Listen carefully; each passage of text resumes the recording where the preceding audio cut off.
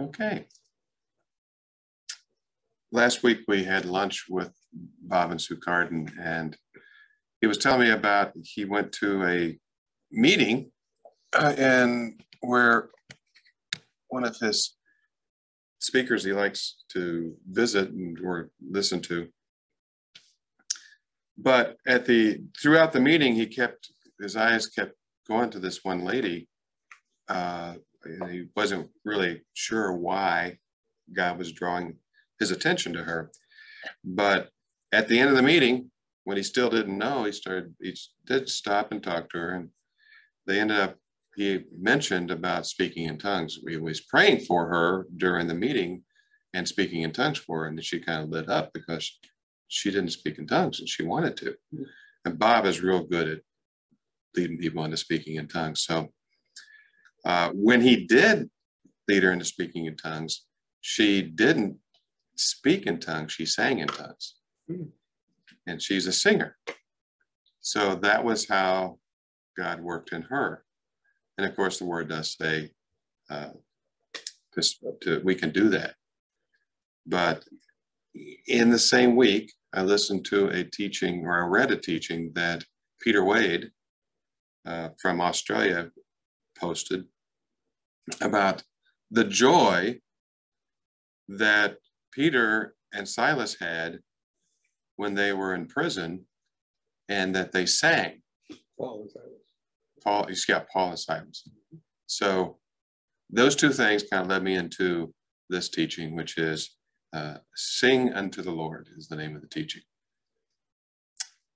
There is something in us that can only be realized when we sing. Uh, maybe it's because we were created in the image of God and we inherited it from Him. That singing. Uh, let's go to Zephaniah chapter 3, verse 17. That's probably one of those clean pages in your Bible because it's not one of the books that uh, we normally go to. Fred said they're all clean in his Bible because he's got a digital Bible. So Zephaniah 3:17. It says, And the Lord thy God in the midst of thee is mighty. He will save. He will rejoice over thee with joy. He will rest in his love. He will joy over thee with singing. So, this is saying that God sings. And he's singing because of his joy that he has for us. Isn't that great? Of course, we like to sing too. And of course, singing uh, we, is one of those things that has great impact, both can be both positive and negative. Because there's a lot of secular songs that invoke emotions. Some are very troubling emotions. But uh, song does that. It also helps you remember things because the Psalms was the Word of God in song, and it helped people remember. And I remember talking to uh, some believers in from India, and they don't have a lot of people who have been educated in writing and they can't read. So they help people memorize the scriptures by putting it into song. So they have a lot of song service. Oh. But we're going to go to Second Chronicles 29. And here's an occasion where people were being brought back to God that had been separated from God by their leader. And the king was the leader. Okay. And the king was the leader uh, of not only for the administration part of the country, but also they were the spiritual leader uh, of the country. And if a king was good, he could do great things for the people to bring them into fellowship with God. And if they were evil or they were even neutral, the people would kind of be scattered like sheep without a shepherd. And the adversary was would rack and ruin their lives. So uh, here we have uh, in uh, Second Chronicles 29, verse 1. Now, Hezekiah was the son of an evil king, and his name was uh, Ahaz. And he brought uh, into the people worship of idols and other gods. And he actually closed the doors to the temple, and it became like a barren place. And if you have the doors closed long enough, you know, it gets just dirty and and it gets to be a mess. So, because of that, a lot of trouble came to the, to the believers, to Israel. A lot of things happened bad for them. But Hezekiah, his son, had a mother who was a great believer. And certainly the parents have great impact on their children. But here you have Hezekiah coming in and he's going to put things straight. Hezekiah began to reign when he was five and 20 years old, and he reigned nine and 20 years in Jerusalem. And his mother's name was Abijah, the daughter of who? Zechariah. Of course, he was a prophet. And he did that which was right in the sight of God, according to all that David his father had done. He, in the first year of his reign, in the first month, opened the doors to the house of the Lord and repaired them. Let's go to verse 25. And he set the Levites in the house of the Lord with cymbals and psalteries and with harps, according to the commandment of David and of Gad the king's over seer, and Nathan the prophet. For so was the commandment of the Lord by his prophets. And the Levites stood with the instruments of David and the priests with the trumpets. And Hezekiah commanded to offer the burnt offerings upon the altar. And when the burnt offerings began, the song of the Lord began also with the trumpets and with the instruments ordained by David, king of Israel. you notice there's a lot of reference back to how David set that pattern, and he set some new things in the worship of God. And so they were going back to that that David had established. And all the congregation worshiped, and the singers sang, and the trumpets sounded, and all this continued until the burnt offerings was finished. We are so blessed with musicians and singers, songwriters, and, and those people in our ministry that bring this kind of spiritual uplifting to us. They're inspired by God. They have a, a wonderful ministry that God's put in their hearts, and we're very, very thankful. And when they had made an end of offering, the king and all that were present with him bowed themselves and worshiped. Moreover, Hezekiah the king and the princes commanded the Levites to sing praise unto the Lord with the words of David and Asaph the seer. And they sang praises with gladness, and they bowed their heads and worshiped. Then Hezekiah answered and said, Now ye have consecrated yourselves unto the Lord. Come near and bring sacrifices and thank offerings into the house of the Lord. And the congregation brought in sacrifices and thank offerings, and as many as were of a free heart burnt offerings. And the number of the burnt offerings which the congregation brought was threescore and ten bullocks a hundred rams, 200 lambs. All these were for a burnt offering unto the Lord. And the consecrated things were 600 oxen and 3,000 sheep Were the people blessed that this was happening? This is obvious. They are giving of their great abundance in the worship of God. But the priests were too few, so that they could not flay all the burnt offerings.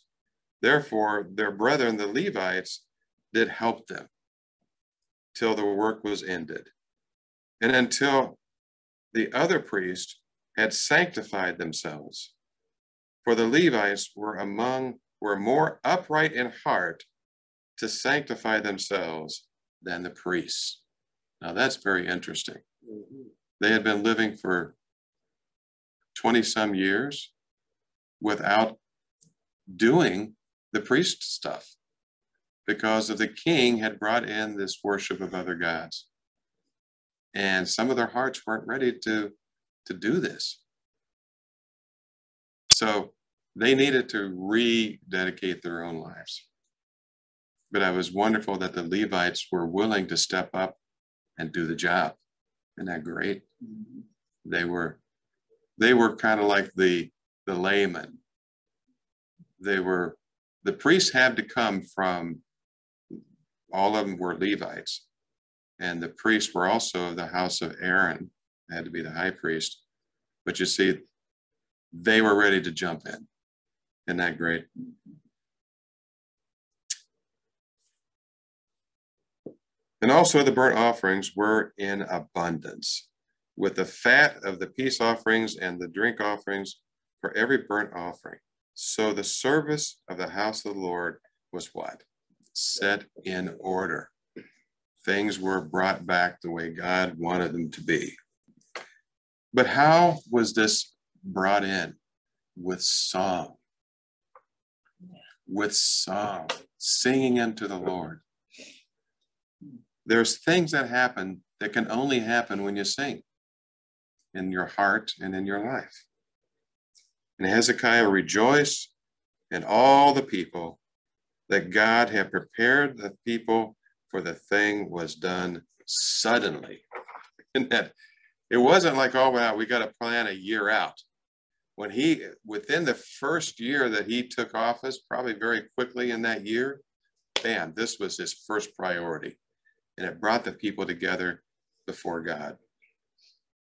There was joy in their hearts because they were bringing, being brought back to worshiping God, and they did that in song. Let's go to Acts 16, verse 16. Acts 16, 16.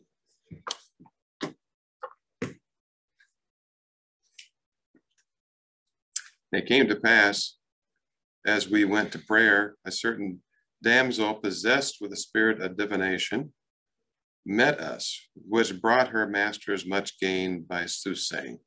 Now, this is one of those uh, people we have around today, fortune tellers, you know, palm readers, tarot cards, all those kind of things.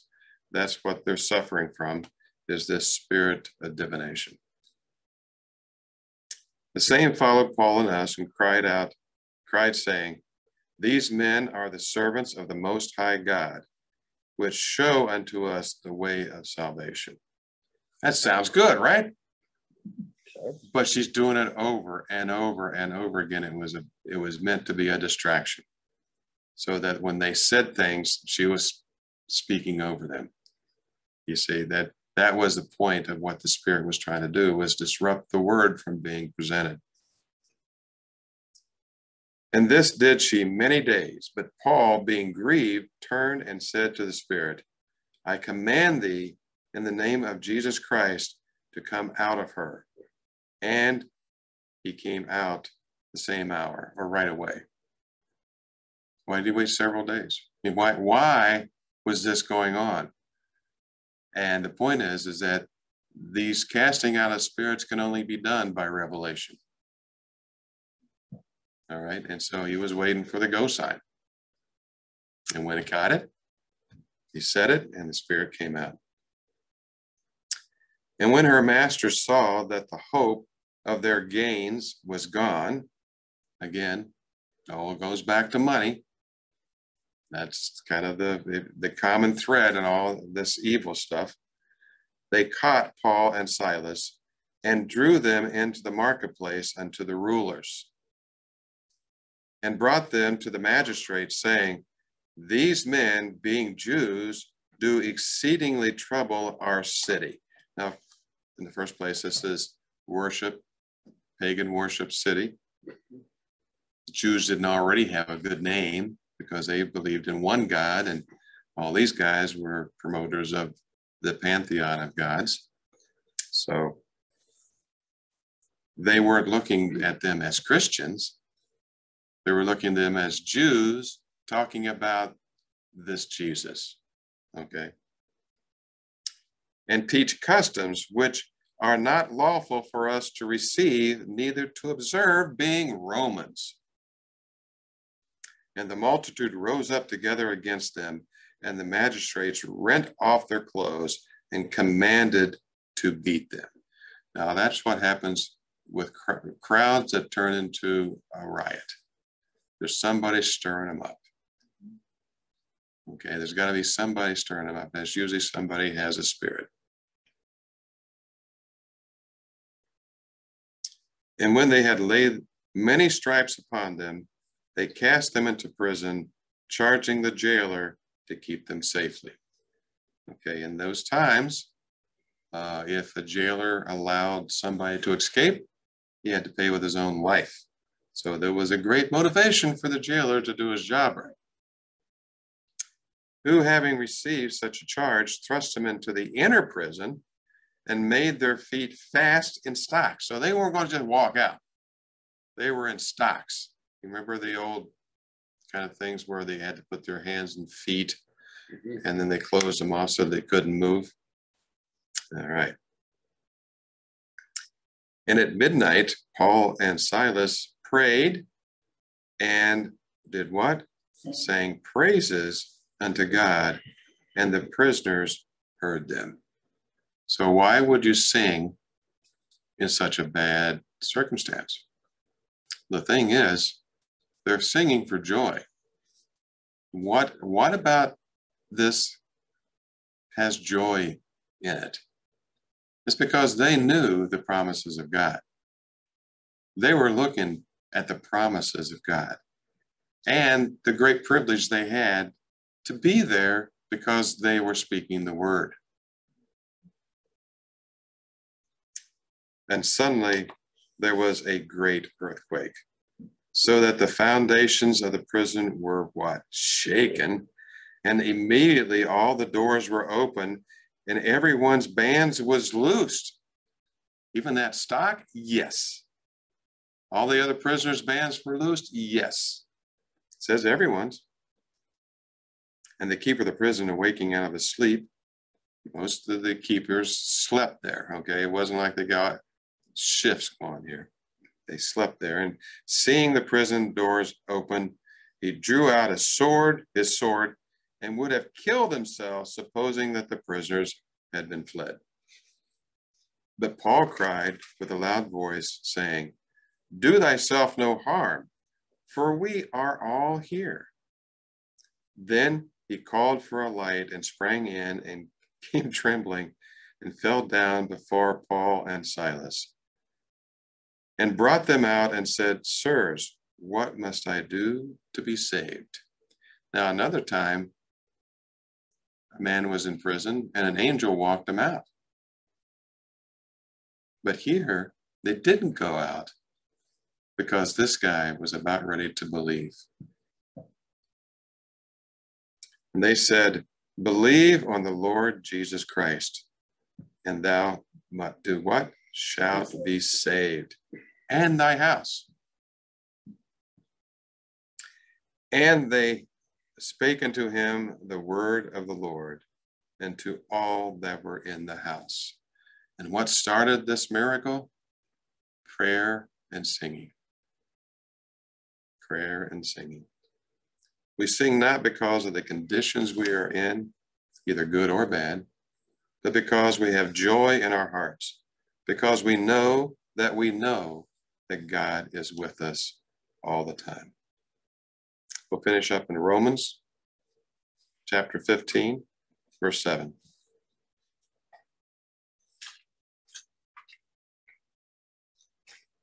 Wherefore receive ye one another as Christ also received us to the glory of God. Now I say that Jesus Christ is a minister of the circumcision for the truth of God to confirm the promises made unto the fathers. When Jesus Christ's ministry was on earth, he was to minister to the house of Israel.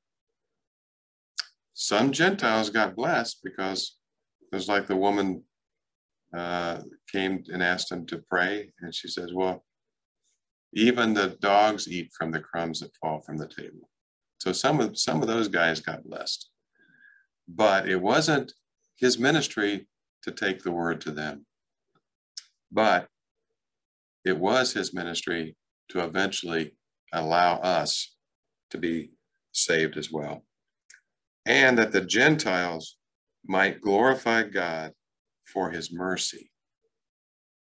You see, mercy is withholding of justice and judgment. When you did something wrong, grace is divine favor when you didn't do anything to deserve it. But mercy is, yeah, you deserved it, but God forgave you. So, did the Gentiles deserve death? Because they had rejected God? Well, in the grand scheme of things, yes. That is the thing that Jesus Christ came to deliver us from is death. And so without him, there is only death. But the Gentiles now have life. They have life because they receive the mercy. As it is written, for this cause I will confess to thee among the Gentiles and do what? Sing, Sing unto thy name.